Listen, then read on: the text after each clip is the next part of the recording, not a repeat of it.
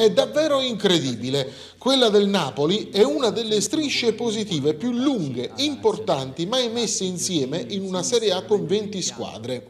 Eppure gli azzurri, nonostante questo, non riescono ad allungare in classifica. L'Inter infatti staziona sempre a meno 2, continua a vincere, Insieme al Napoli, i Cardi e Soci sono ancora imbattuti dopo il 2-0 con l'Atalanta. Ora però per gli azzurri di Sarri testa alla Champions League. C'è da battere infatti lo Shakhtar per cambiare le sorti del girone e provare a qualificarsi. In Serie B amarezza per la Salernitana che accarezza la vittoria che l'avrebbe spinta verso l'altissima classifica, cioè a meno due dalla vetta occupata da Bari e Parma.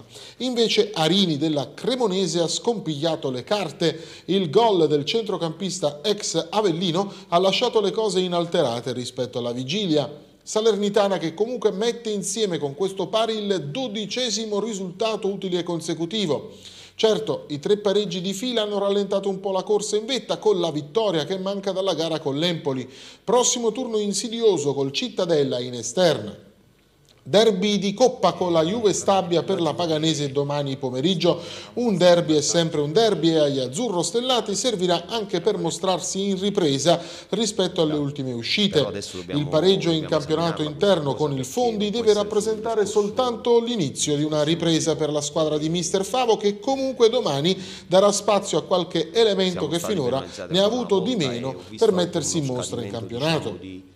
Sette vittorie consecutive per la Cavese che continua a stupire in Serie D e di fatto ha riaperto il campionato nel girone H dove il Potenza rimane una potenza ma è bastato un mezzo passo falso dei Lucani 3-3 col Gravina al Viviani con gol dei Pugliesi però al 96esimo per riaprire i giochi. Ora i punti di distacco della Cavese dalla capolista sono soltanto 4. Il gol di Fella nella partita col Taranto ha regalato 3 punti importantissimi ai metelliani, 21 su 21 nelle ultime 7 partite giocate e la Cavese spera davvero di poter sorprendere ancora.